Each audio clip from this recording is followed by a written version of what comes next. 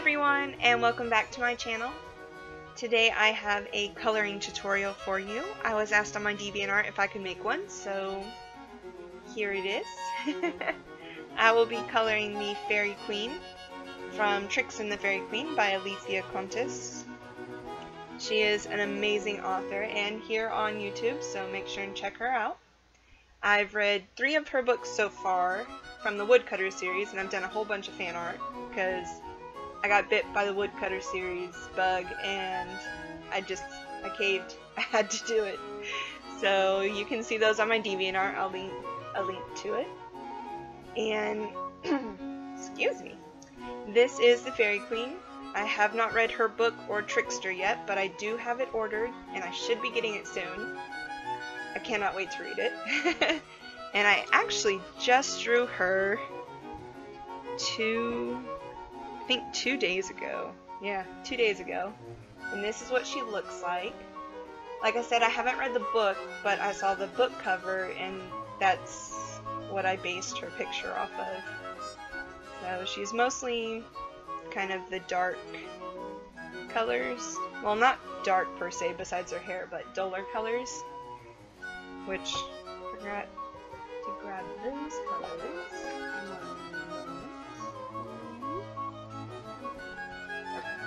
Now I have them all.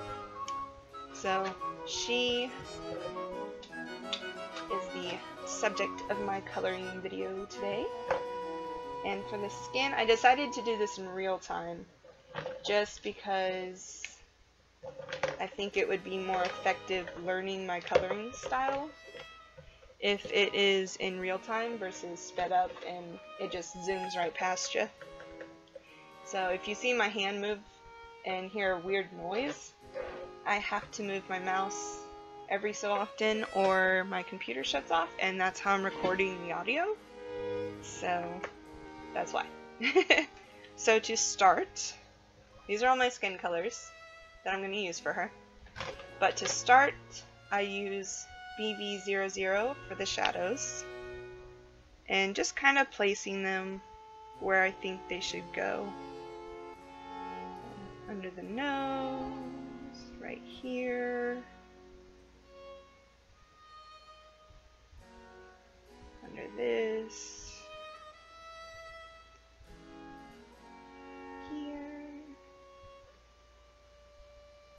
kind of shape it around there, and then here. And that's all in shadow because it's underneath the hair. Okay, you can see everything. And about there. So that is the first layer that I do. And then I take E21, my darkest E that I use, and I just go, uh-oh, I forgot, I forgot. Now I just go right over right over the purple. Not next to it or behind it or anything, just right on over it. And in some areas that don't have the purple.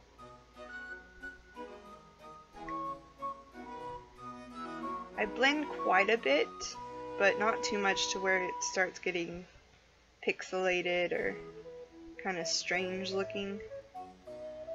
And just fast movements. And over stuff. like her eyebrow, it's going to be black anyways, so I'm not too worried.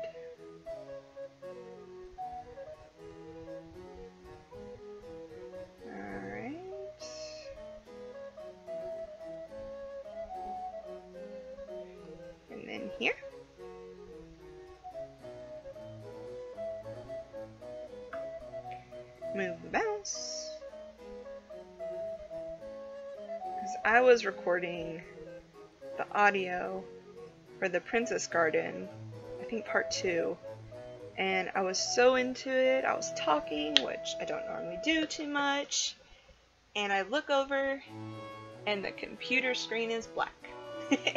it stopped recording, and I was so sad. So sad. I had to do it all over again. I think I recorded that narration about 20 times. Not exaggerating. About 20 times. but it came out in the end, so. I guess that's all that matters. So next I'm going in with E00, which is my second to lightest color. Just trying to blend away these hard edges. And then instead of using my last skin color, I actually do the blush now, which is R02. I'm just going to do some on her cheek right here. And just shade it in. Not too much. I usually do the nose, but I think I'm going to try it without, because I did the other picture without blush on the nose, and it turned out pretty good. So to mix the R02, I use R00, and kind of just blend it in as best I can.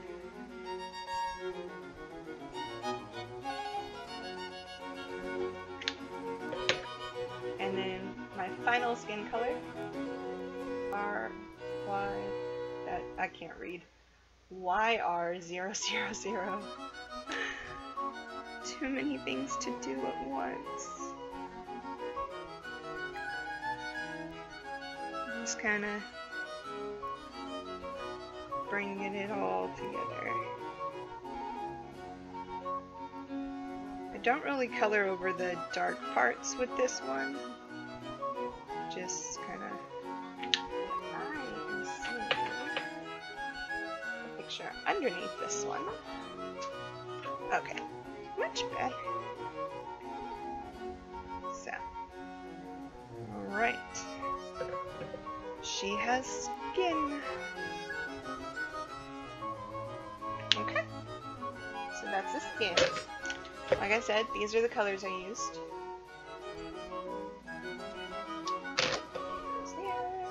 Alright, and for her eyes, I'm just going to do two colors because she has really, really bright eyes. So I'm going to use B02 for the dark part and then B00 for the light part.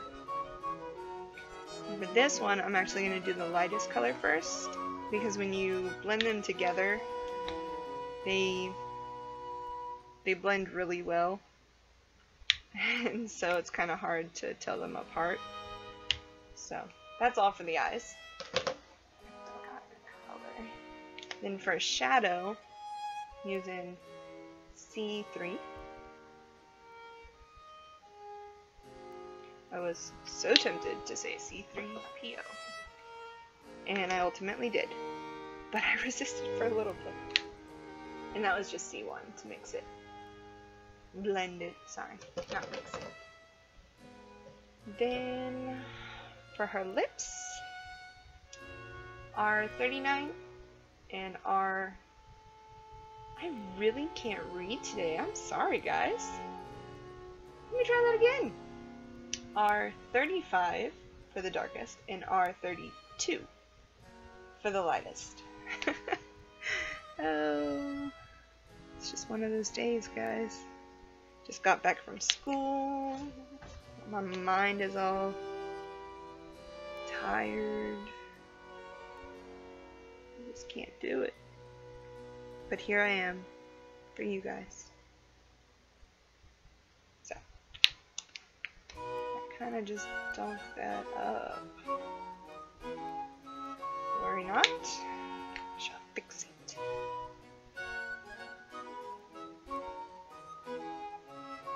Okay, so there are her lips. Really easy shading.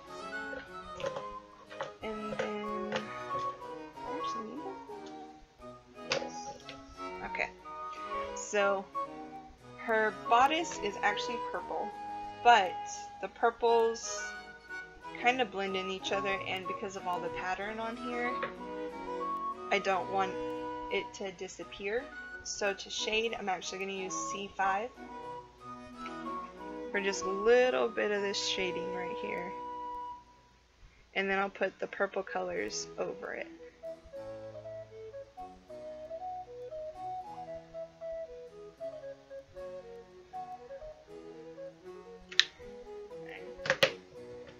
So the purples I'm using, see if I can say it right, are V25 and V28. I did it, hooray! Sorry, I just went Dora the Explorer on you. I worked at a daycare for three years, so I know a lot of the children's theme songs. And my niece is at that age, so I'll be learning the current ones pretty soon here. Alright. So, bodice is done, covering up the gray, but not putting too much on there. Oh, I still need those. And then her necklace is also this purplish kind of color.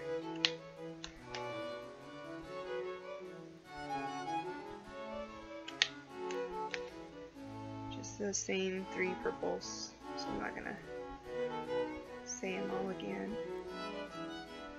Move the mouse. Alright. And then for her necklace, keep throwing the Copics I still need. C5 and C3.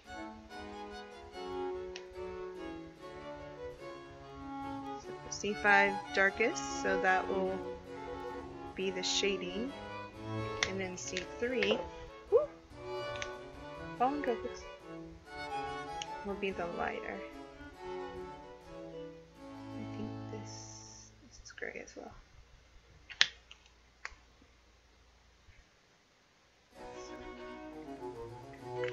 there. Don't think I need those colors anymore,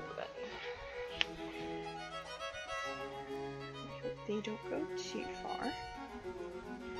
So for the lacy bits and her sleeve, which is kind of hidden, uh, C3.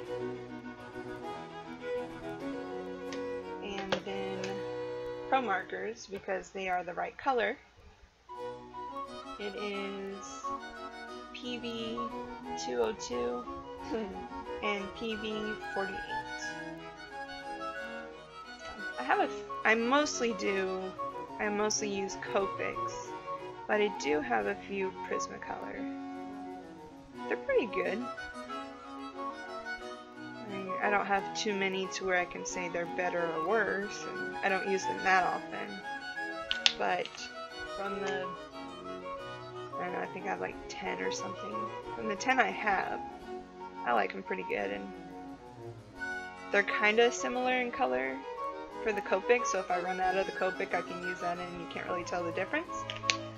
But some of them are different, which is cool, because I don't have those colors otherwise. Alright, now for all these glorious locks. 100 for the darkest, and then C9 and C7. So, to color all this hair, I'm going to split it into sections. So from, I don't know, here, all this over here, I'm going to quickly, but carefully, at least around the edges, color in very quickly. Sporadically, almost.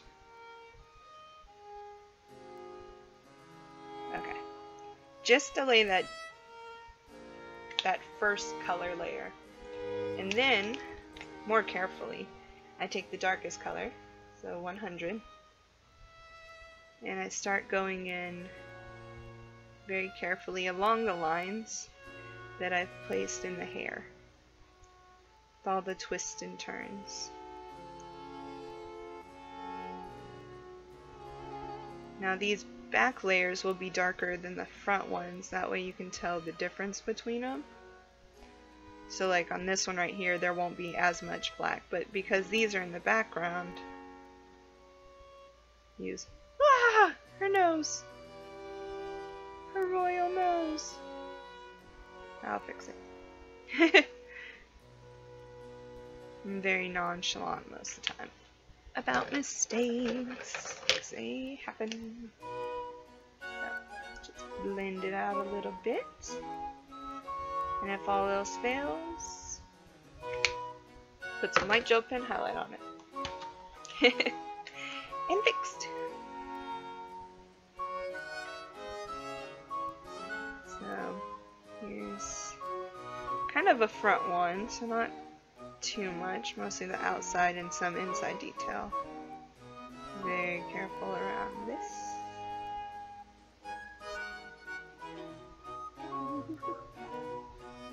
Careful. Move mouse. This one's more in the background, so it'll have more black.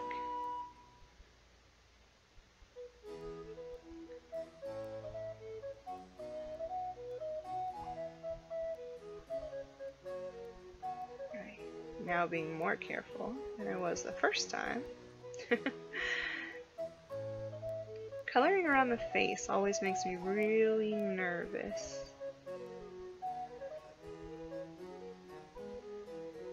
Okay, Whew. Success. More black. A lot of black. Alright. Not as much black since, like I said, these are more towards the front.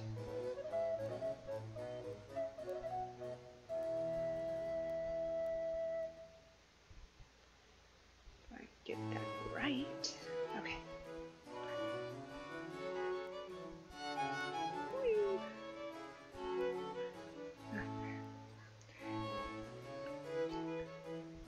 It's hard to make those very fluid motions sometimes, but when you can, it makes it look smoother. Alright, enough black. Now C9.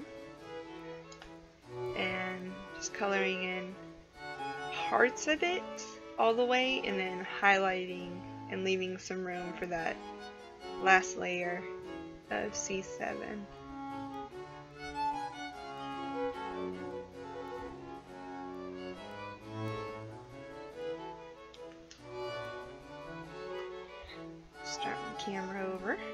Clicked at me.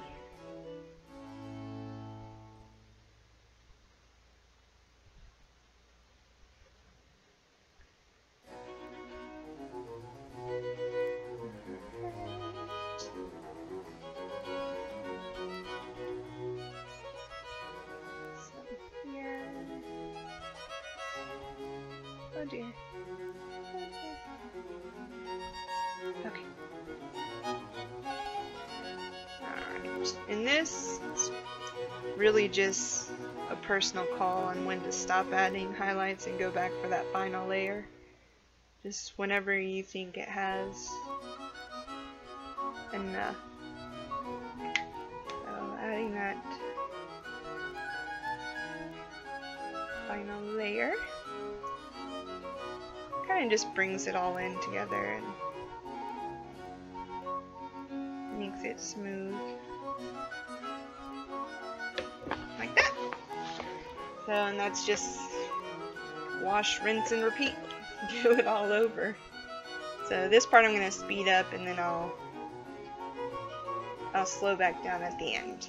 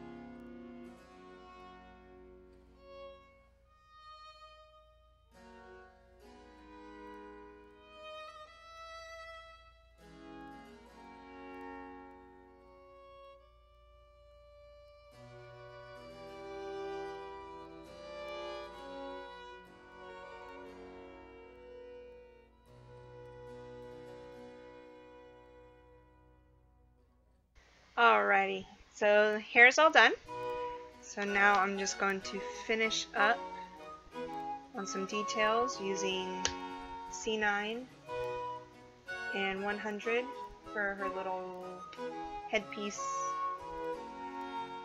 thingy and her eyebrow.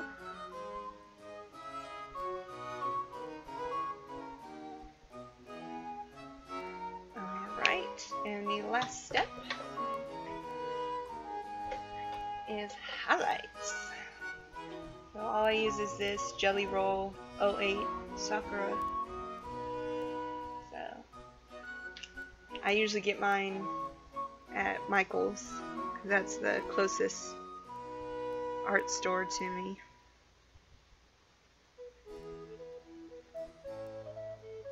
just I usually for the face I place them on the eyes, the cheek where the blush is, and nose and lips.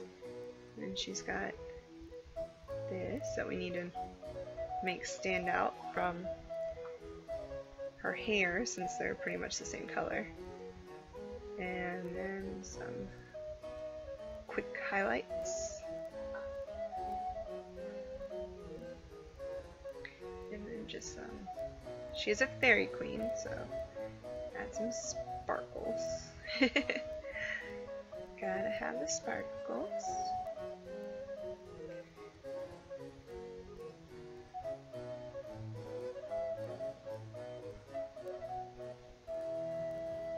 And just randomly placed, not too uniformed, but just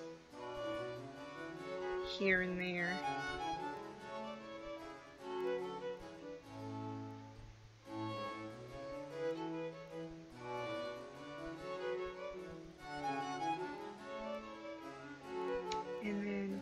Necklace.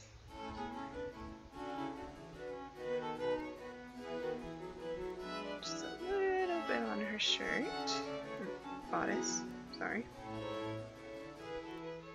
Some here and there in the ruffles. I think that's about it. So there you go. That's how I color. Thanks for watching.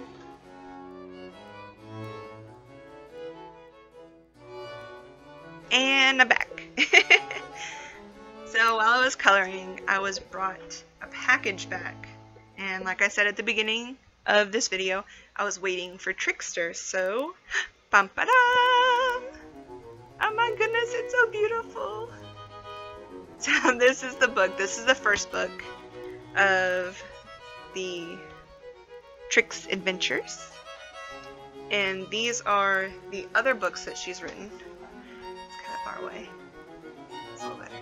So, I've read the first three. I haven't read Tales of Airland, is how it sounds in my head, so that's how I'm going to pronounce it. So, here's the author. Woo! Can't see it. Gotta turn it. Okay, there you go. so, alright. And it's time for me to read. Thanks for watching.